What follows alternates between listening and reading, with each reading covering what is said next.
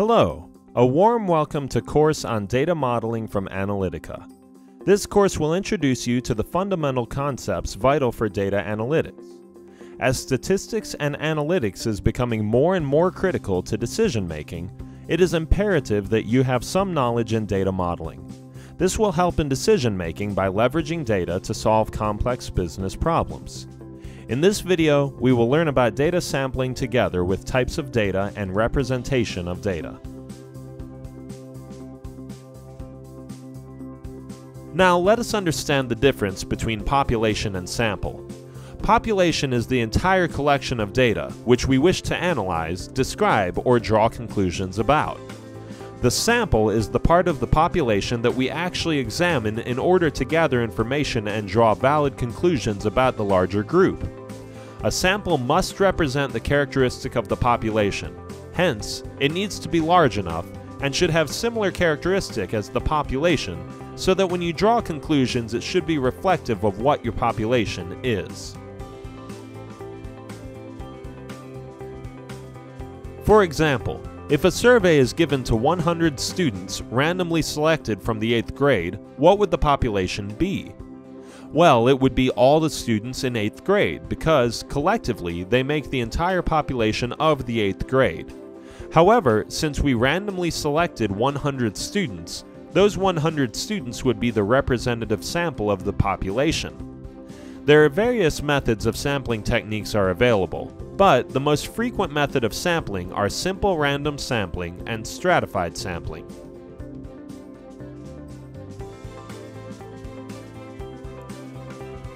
But why do we work on samples rather than population? Firstly, it is cost effective and quick. Think of a scenario where a government of a country wants to study the effectiveness of a newly launched program for girls between 15 to 25 years of age. If the country has total 1 million of girls between 15 to 25, think how much time a survey team would take to collect data on all of the girls and the amount of cost it incurs to reach out to these girls. Sampling induces efficiency in analysis and helps in dealing with large population more effectively. For example, if we want to know the purchase behavior of all the customers in a credit card portfolio, it would be quick and easy to analyze a set of customers from the entire customer base and draw a quick inference about the population instead of analyzing each customer's behavior. Secondly, collecting data on more people means more chance of having data collection error. Rather, we collect more detailed information on a smaller set of people, that is, sample. Finally, often collection of data on entire population may not be practical. Suppose we want to find out the lifetime of an electric bulb manufactured in a factory, we cannot use all the bulbs and wait for their failure, then no bulbs would be left to sell in the market.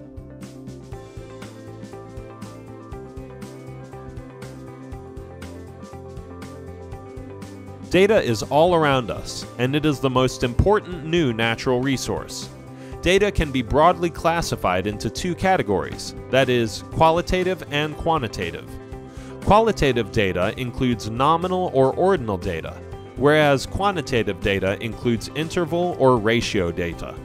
Quasi-interval data presents a special case.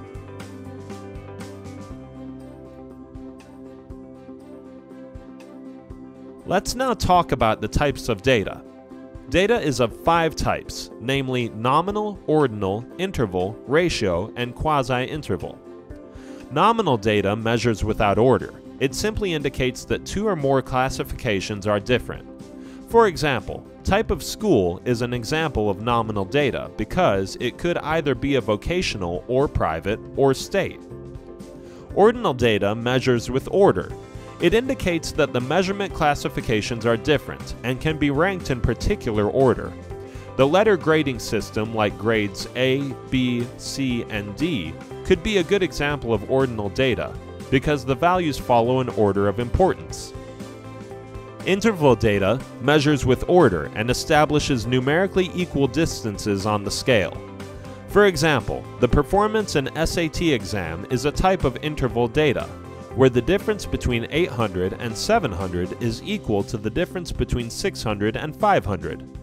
Ratio data measures have equal intervals and a true zero point. For example, how many answers are right in a test?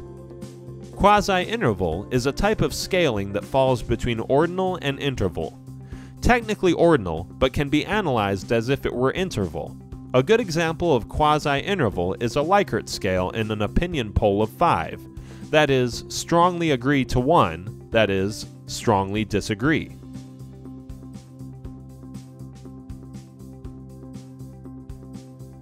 It is important to represent the data we collect from sample in an understandable and workable manner. We can summarize the data in a tabular format. We can put a data table. We can create different graphs and represents. We can see some data graphs here. We can also summarize the data as metrics or measures. These are called statistic of the data. As it is calculated from sample, they are known as sample statistic, such as sample mean, median, etc.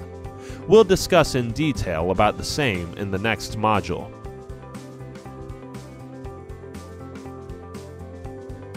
Just to recapitulate, in this video we learned the concepts about sampling, types of data, and their representation. In the next video, we will be explaining the concepts of measures of central location. Thanks for watching the video.